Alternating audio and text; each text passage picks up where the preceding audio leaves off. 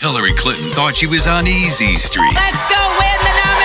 But Bernie Sanders didn't get that memo. We are in a virtual tie. Tonight, the two Democrat candidates square off in the MSNBC debate. Our special debate coverage starts at 7. Orlando's election headquarters is News 96.5 WDBO. The establishment, the media, the donors, they're all against me. Trump says he's boycotting tonight's Fox News debate. We've launched a website called duckingdonald.com. Our pre-debate special starts tonight at 7. Nobody, nobody's giving me anything. This is Dayton's election headquarters. AM 1290 and News 95.7 WHIO. The voters of Iowa have spoken. Iowa, thank you.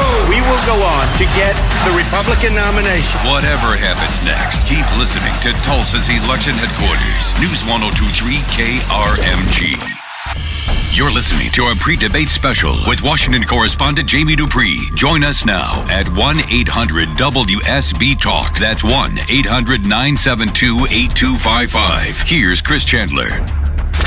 Can Cruz dethrone Trump as the frontrunner? Would you bail out the big banks again? Absolutely not. Now is his last chance before the voters of Iowa decide on Monday. Let the games begin.